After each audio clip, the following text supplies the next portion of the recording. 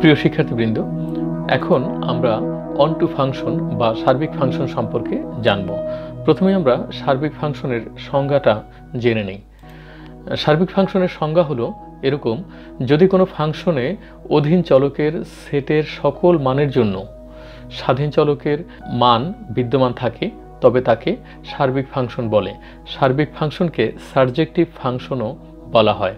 এই সংজ্ঞাটিকে লেখা যায় এইভাবে।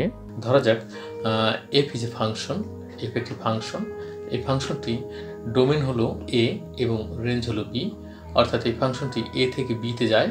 তো এই ফাংশনটি সার্বিক ফাংশন হবে যদি for all Y in B অর্থাৎ অধীন চলকের প্রত্যেকটি উপাদানের জন্য যদি স্বাধীন চলকের অন্তত একটি এর মান থাকে, অর্থাৎ F X equal to Y হয়।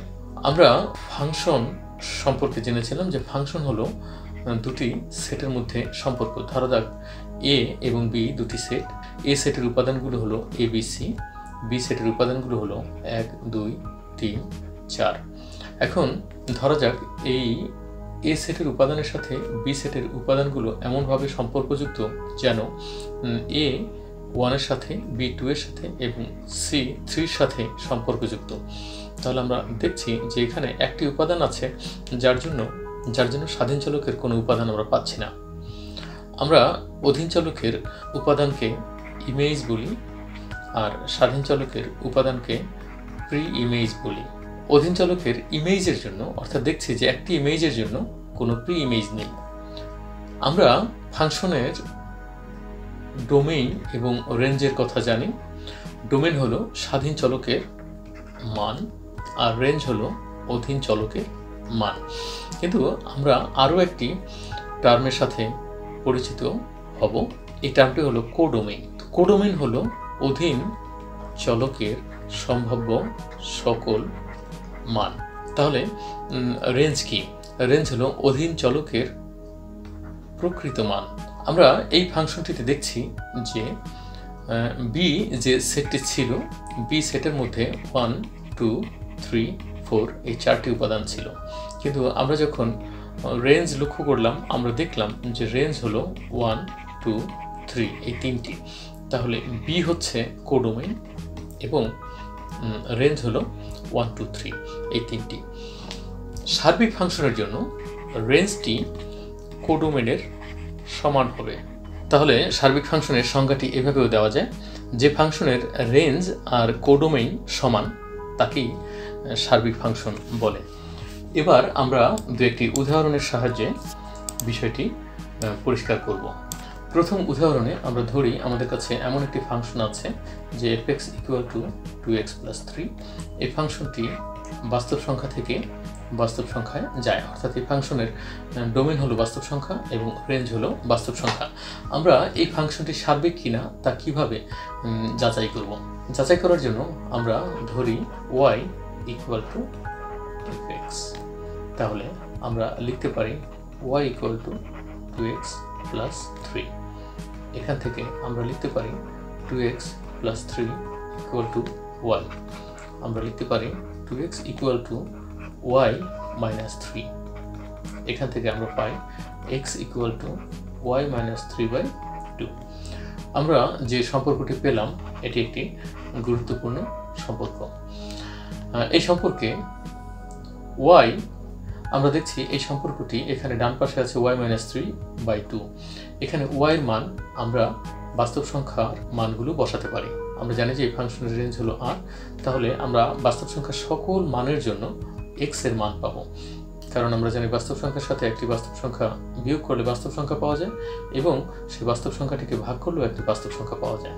তাহলে আমরা দেখছি যে এই শর্তটির নাম আমরা এক নম্বর শর্ত দিই। তাহলে আমরা বলতে পারি, এক নম্বর সমীকরণ থেকে আমরা বলতে পারি যে রেঞ্জের সকল মানের জন্য টু এক্স প্লাস থ্রি সার্বিক এবার আমরা দ্বিতীয় আরেকটি প্রমাণ করব।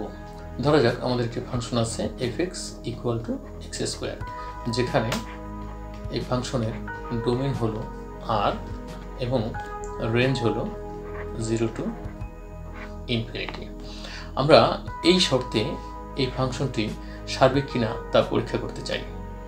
তাহলে ধরি Y equal to X square এখান থেকে আমরা পাই X square equal to Y এখান থেকে আমরা পাই X equal to plus minus root over Y তাহলে এই যে শর্তটি আমরা পেলাম, এই শর্তটি খুব গুরুত্বপূর্ণ, কারণ এখানে অধীন চলকের মান রুট ওভার চিহ্নের মধ্যে আছে। আমরা অধীন চলকের আমরা যে রেঞ্জটি পাই জিরো থেকে অসীম, আমরা জানি যে রুট ওভারের মধ্যে জিরো থেকে অসীম পর্যন্ত সকল মান বসতে পারে এবং বসলে আমরা এর মান পাই, তা বাস্তব সংখ্যার মান হবে।